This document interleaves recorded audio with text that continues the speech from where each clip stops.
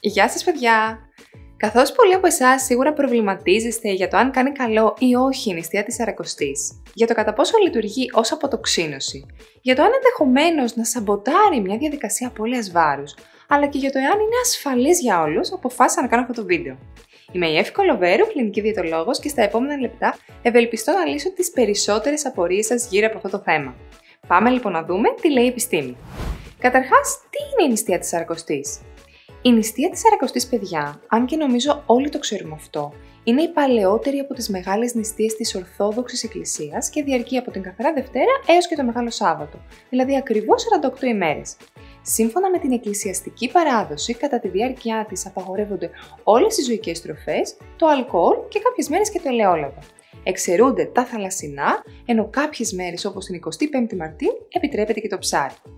Ωστόσο, πολλοί κόσμος βλέπει την νηστεία σαν μια ευκαιρία αποτοξίνωσης. Και θα μου πείτε τώρα, γιατί δεν είναι; Καλό δεν θα μου κάνει να μην φάω κρέας και ζωικά προϊόντα για ένα διάστημα. Λοιπόν, παιδιά, η νηστεία δεν είναι αποτοξίνωση. Καταρχάς, το έχουμε ξαναπεί και το ξαναλέμε για να το θυμηθούμε, ότι η αποτοξίνωση δεν είναι διατροφικό σχήμα, αλλά μια οργανική διαδικασία που επιτελείται από τρία κυρίως βασικά όργανα. Το ήπαρ, το έντερο και τους νεφρούς. Γιατί αν σκεφτόμαστε ότι με το να αποφεύγουμε τα ζωικά προϊόντα κάνουμε αποτοξίνωση, είναι σαν να λέμε ότι αυτές οι τροφές έχουν τοξίνες και όλον τον υπόλοιπο χρόνο είμαστε τοξινωμένοι. Καμία σχέση. Προφανώς, και σας το έχω ξαναπεί και εγώ αυτό, ότι οι μελέτες δείχνουν ότι η αυξημένη πρόσληψη κορεσμένου και τρανς λίπους που συχνά έρχεται μαζί με την αυξημένη κατανάλωση κρέατος, λιπαρών τυριών, έτοιμου φαγητού κτλ. Δεν προάγει την υγεία μας. Αλλά αυτό δεν σημαίνει ότι όλα τα ζωικά προϊόντα δρούν επιβαρυντικά. Άρα, φυσικά και θα μας κάνει πολύ καλό να περιορίσουμε σημαντικά κάποιες ζωικές τροφές και όντως μια διατροφικά ισορροπημένη νηστεία μπορεί να επιφέρει πολλά ωφέλη υγείας, αλλά μην νομίζετε ότι όλοι οι άνθρωποι που νηστεύουν τρώνε υγιεινά. Ίσως μάλιστα κάποιοι να τρώνε πολύ χειρότερα από κάποιον που δεν νηστεύει. Μα μου πείτε πώς γίνεται αυτό.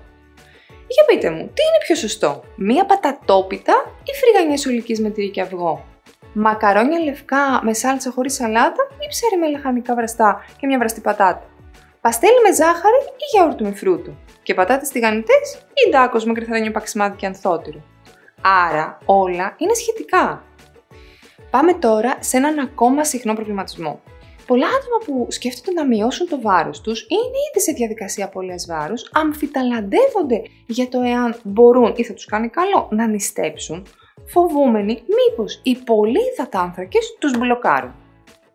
Λοιπόν, Καταρχάς, να πούμε ότι είναι λίγο αντιφατικό και οξύμορο να έχεις αποφασίσει να νηστέψεις και ταυτόχρονα να φοβάσαι ότι θα φας πολύ, γιατί ο λόγος που ξεκινάς είναι ακριβώς αυτός, να σε εκπαιδεύσεις στο πιο λίγο, στο πιο μαζεμένο. Κατά δεύτερον, αν παιδιά οι θερμίδες σας είναι σταθερές, τότε δεν χρειάζεται να ανησυχείτε τόσο πολύ. Ναι, μεν οι υδατάνθρακες δεν έχουν τόσο υψηλή θερμογενετική επίδραση όπως η πρωτεΐνη. Και OK, okay, ίσως τα επίπεδα ινσουλίνης είναι λίγο πιο υψηλά για περισσότερη ώρα την ημέρα. Αλλά αυτό δεν αφορά τόσο υγιή άτομα όσο κάποιες συγκεκριμένες ομάδες ατόμων με αντίσταση στην ινσουλίνη ή διαβήτη τύπου 2. Με λίγα λόγια, αν τρώμε νορμάλ μερίδες, όλα καλά θα πάνε. Αν παχαίναμε κόβοντας τα ζωικά προϊόντα, θα έπρεπε όλοι οι vegan να είναι υπέρβαροι. Βέβαια, σε αυτό το σημείο να πω ότι υπάρχουν πράγματι δύο σημεία που χρήζουν προσοχής. Πρώτον, τίθεται ένα μικρό θέμα κορισμού. Δεν χορταίνεις τόσο εύκολα όταν κάνεις νηστεία και γι' αυτό χρειάζεται προσεκτική επιλογή των υδατανθράκων. Προτιμήστε υδατάνθρακες με χαμηλό γλυκαιμικό φορτίο και με πολλές ίνες ώστε να ενισχύεται το κάπως μειωμένο αίσθημα κορισμού καλό είναι να δοθεί έμφαση στα δημητριακά ολική άλυση όπως το καστανό ρύζι, το πληγούρι, η βρώμη και στα ολόκληρα φρούτα σε σχέση με τους χυμούς και τα ελεύθερα ζάχαρα όπως το μέλι.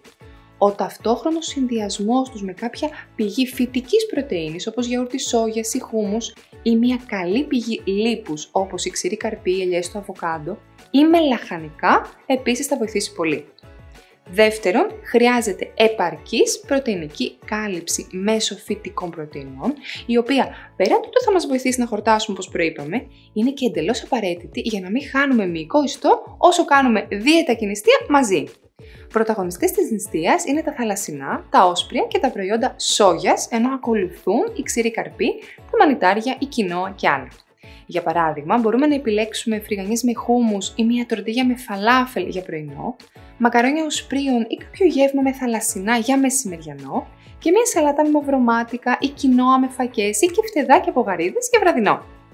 Μπορείτε αν θέλετε να συνδυάσετε τα όσπρια μαζί με κάποιο δημητριακό για δημιουργία πλήρους πρωτεΐνης, όπως να φτιάξετε φακόριζο ή να φτιάξετε ρεβίτια σούπα και να τα συνοδεύσετε με ψωμί ολικής, αλλά δεν είναι εντελώς απαραίτητο η κατανάλωση των συμπληρωματικών πρωτεϊνών να γίνει ακριβώς την ίδια χρονική στιγμή.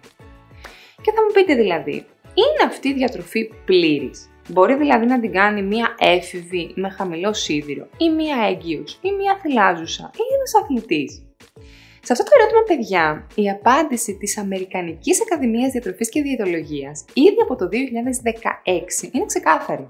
Σωστά σχεδιασμένες χορτοφαγικές δίαιτες, ακόμα και στην αυστηρή τους εκδοχή, δηλαδή η vegan, είναι διατροφικά επαρκείς και κατάλληλες σε κάθε ηλικία, σε όλα τα στάδια της ζωής και σε αθλητές.